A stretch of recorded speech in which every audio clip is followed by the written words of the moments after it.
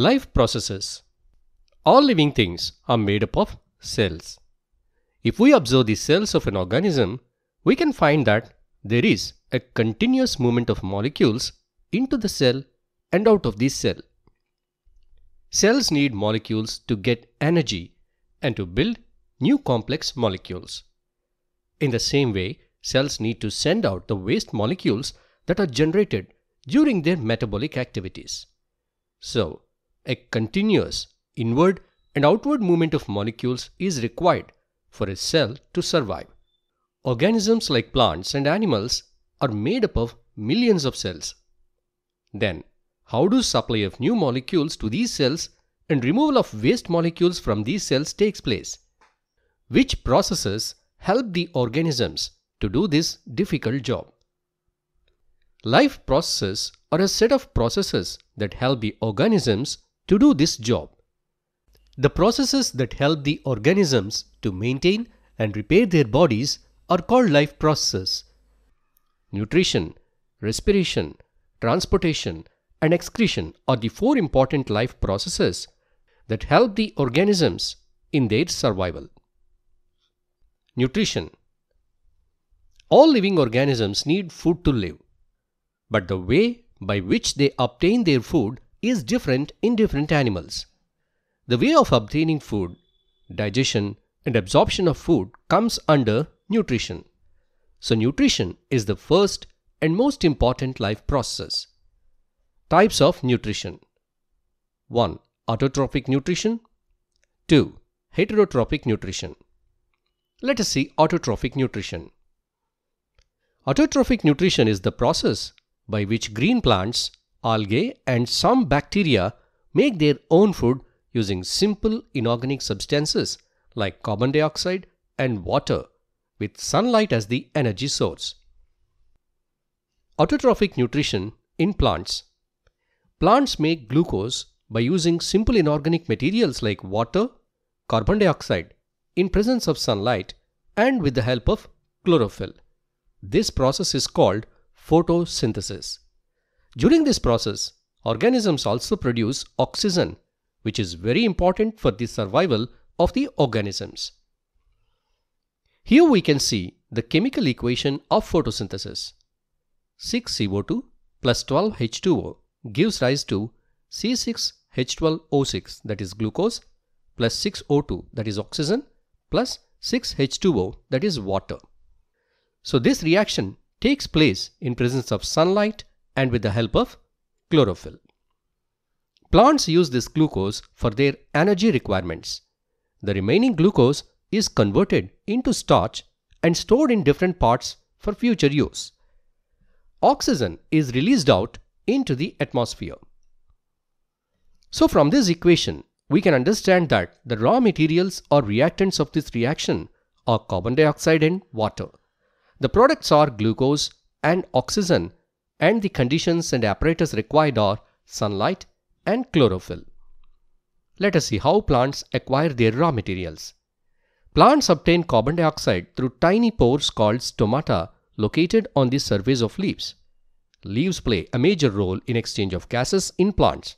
However, gas exchange also occurs across the surface of stems, roots, and other parts of the plant. To prevent excessive water loss, plants regulate the opening and closing up stomatal pores. When carbon dioxide is not needed for photosynthesis, the plant closes these pores. This regulation is controlled by specialized cells called guard cells present in the stomata. When guard cells absorb water, they swell, causing the stomatal pore to open. In the same way, when they lose water, they get shrink and the pore closes. This mechanism helps the plants to efficiently manage gas exchange and water conservation. This is how plants get carbon dioxide. Let us see how do they get the other materials. Plants get water from the soil through roots. Plants get the light through the surface of the leaf. Water, carbon dioxide, chlorophyll and sunlight. If any one of the components is missing, plants cannot carry out photosynthesis. Let us verify it with some activities. Variegated leaf experiment. By this experiment, we can prove that chlorophyll is important for photosynthesis. For this, take a potted plant with variegated leaves, such as money plant or croton plant. Place the plant in dark room for 3 days to deplete all the stored starch. After 3 days, expose the plant to sunlight for approximately 6 hours. Pluck a leaf from the plant and identify the green areas on it. Trace these green areas onto a sheet of paper. Boil the leaf in water for few minutes to soften it. Transfer the boiled leaf into beaker filled with alcohol. Set up a water bath and place the beaker containing the leaf and alcohol into it. Heat until the alcohol begins to boil. Now, take out the leaf and submerge the leaf in a dilute solution of iodine for few minutes. Now remove the leaf from the iodine solution and rinse it off. The green areas of the leaf turns dark blue. Iodine when reacts with starch, it produces dark blue color. That means in the green areas of leaf, photosynthesis took place due to the presence of chlorophyll. And in the non-green areas of the leaf, there is no photosynthesis due to the absence of chlorophyll. Similarly, we have another activity to show that carbon dioxide is necessary for photosynthesis. For this, select two healthy potted plants of similar size. Place both the plants in dark room for 3 days. Now place a watch glass containing potassium hydroxide to absorb the carbon dioxide next to one plant. Cover both the plants with separate bell jars and use Vaseline to seal the bottom to ensure an airtight setup. Expose both plants to sunlight for about 2 hours. Pluck a leaf from each plant and perform a starch test as described earlier. Now compare the presence and amount of starch in both the leaves. The plant kept with potassium hydroxide has very less starch as compared to the plant without potassium hydroxide. This shows that carbon dioxide is necessary for photosynthesis. Location and mechanism of photosynthesis. Photosynthesis takes place in the special organelles called chloroplast present inside the green leaves. Let us find their exact location inside the leaf. This is the cross section of the leaf. Here we can observe some cells with green dot-like structures. These green dot-like structures are the chloroplasts.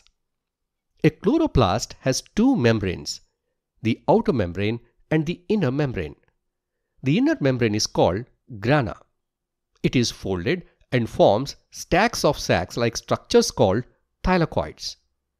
Chlorophyll is the green color pigment present in these thylakoids. The space between the grana and the outer membrane is called stroma.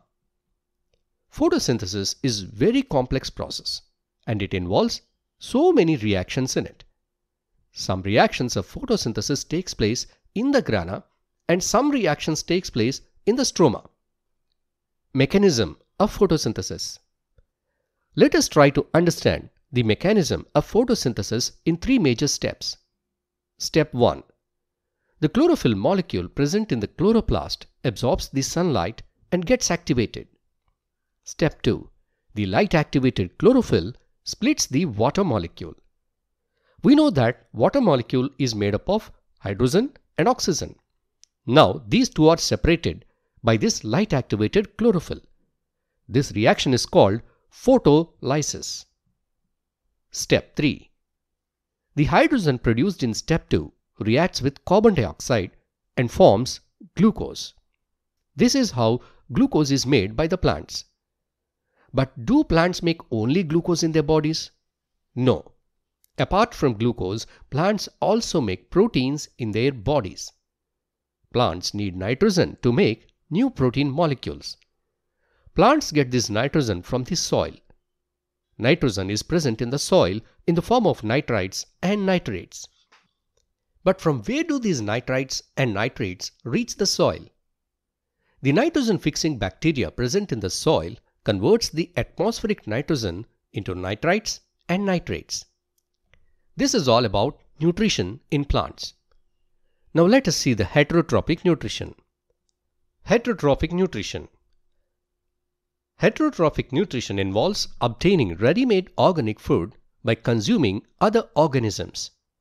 Heterotrophic organisms cannot synthesize their own food and depend on the organic matter produced by autotrophs or other heterotrophs.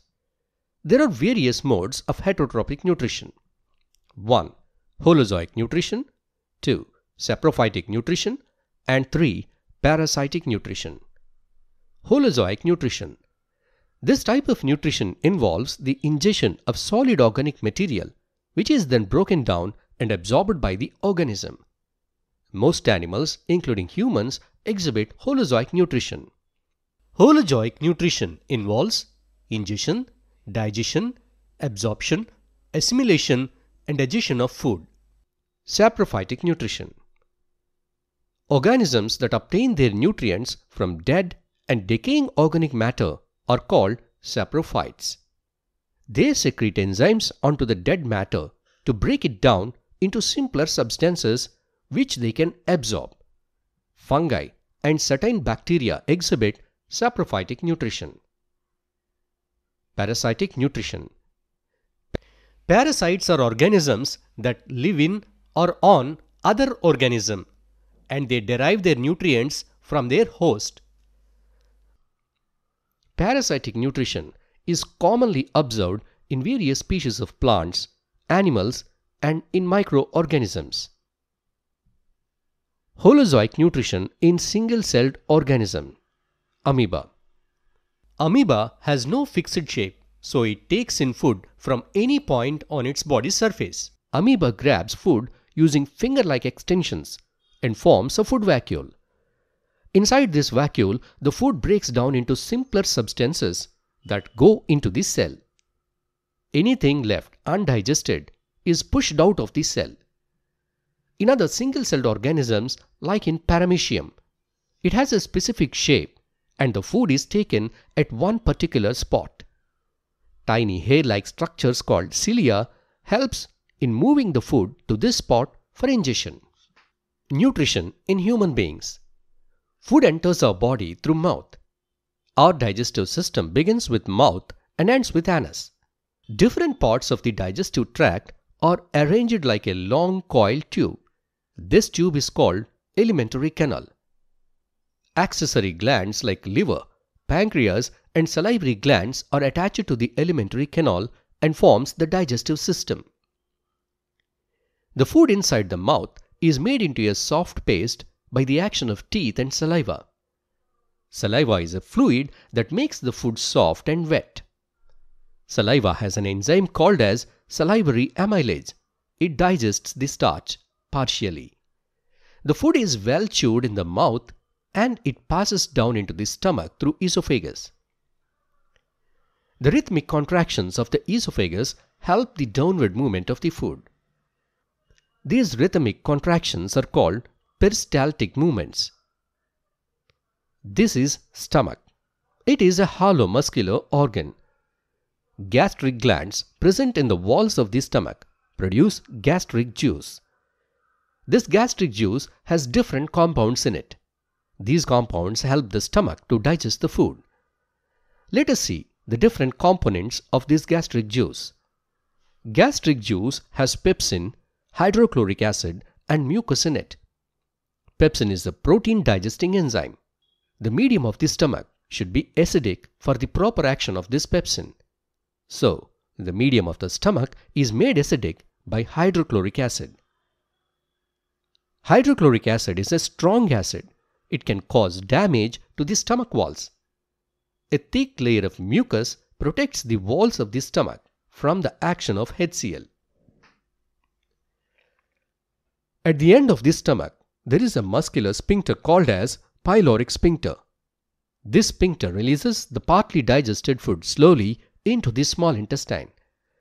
Small intestine is the longest part of the alimentary canal. It is highly coiled to fit in less space. Pancreas secretes the pancreatic juice, intestinal glands secrete intestinal juice, and liver secretes bile juice into the small intestine.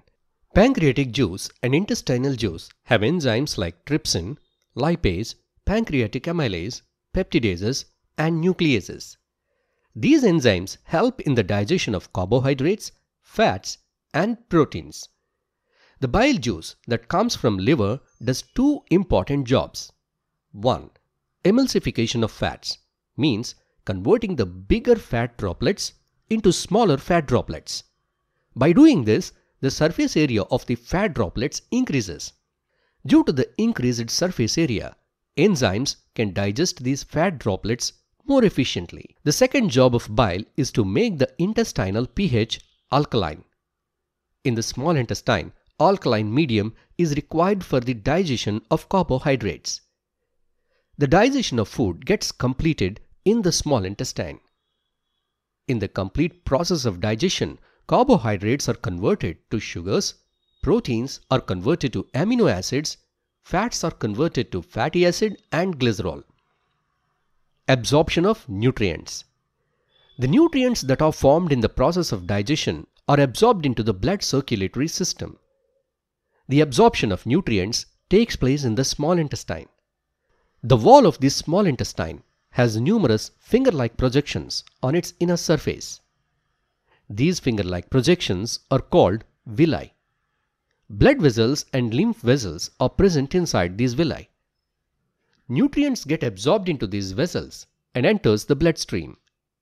Undigested food enters into the large intestine. The water present in this undigested food is absorbed into the blood. The remaining undigested waste is excreted out through anus. This is all about nutrition.